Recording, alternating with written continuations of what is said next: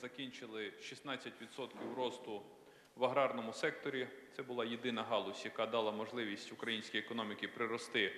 І єдина галузь, яка дала можливість українській економіці отримувати долари для стабілізації валютного ринку.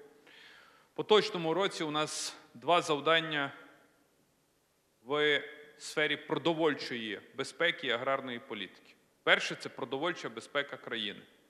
Треба посіятись, треба зібратися, треба нагодувати країну дешевими і якісними продуктами харчування, на яких написано зроблено в Україні. І зараз посівна розпочалась. Я прошу Міністерство енергетики, Міністерство аграрної політики і продовольства разом з Міністерством економіки зробити все для того, щоб були забезпечені пальним, щоб були забезпечені добривами, щоб були забезпечені технікою, і щоб ми посіялись і мали можливість нагодувати країну. Друге, це у нас зовсім по-іншому відкрились тепер експортний потенціал. Тепер ми повинні суттєво розгорнути нашу експортну позицію, іти і продавати на експорт. Зона вільної торгівлі з Європейським Союзом. Ми практично повністю використали квоти на постачання сільськогосподарської продукції до Європейського Союзу.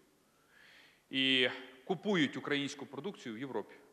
Тому аграрний сектор один з основних, я скажу, ключових економічних двигунів країни.